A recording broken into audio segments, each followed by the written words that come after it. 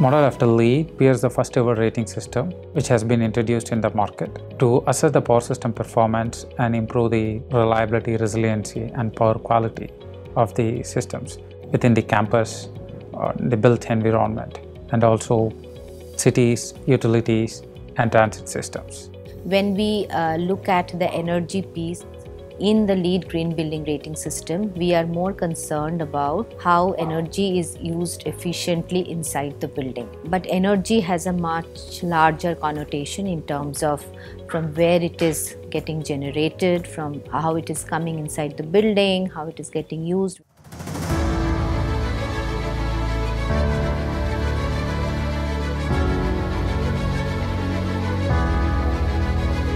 There are four factors we can look at. How do we optimize the energy, which means energy efficiency?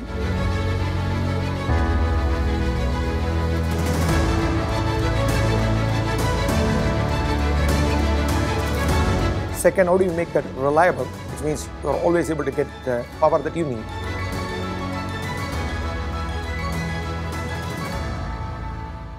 How do you make it resilient so that during times of storms and disasters and hurricanes, you don't have power disruption? Last but not the least, how can customers really be dependent and have the satisfaction that the power that they receive is always available to them when they need it? So PEER has the advantage that it helps you to design energy infrastructure in a way that it is not only efficient, you know, environmentally, but it is reliable, resilient, and you are also ensured that all the critical infrastructure will not be devoid of power at any point in time. So PEER is a system that evaluates the energy system more holistically and it's a certification program particularly for energy infrastructure. Any projects that is planning to have a significant energy consumption, I would recommend PEER just because they have a large amount of infrastructure to be put up in place and they need to operate on their day-to-day mode with seamless integration and operations.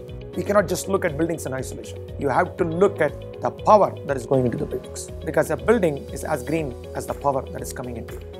So if we want to truly realize the vision of LEED Positive, we need to go back and look at our energy sources and energy distribution methods and ensure that they are also carbon free. Then one very important part and as the sector, the electricity and the energy sector is evolving, it is also very important to interface with your customers, you know, who are buying your power. So they also should have a choice to tell you from where you know you should be drawing the power or what is their preferential choice of you know drawing power. We had uh, say severe floods and storm in southern part of india a couple of years back. And some of the hospitals had its say generating system electrical you know backup system in the basement which got flooded. And they stopped working.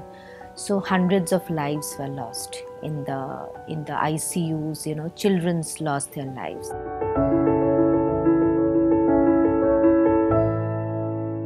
But you can avoid that if you would have you know taken care of the fact or anticipated that a flooding can happen in that city because of say climate change or you know because of the extreme rainfall events that can happen.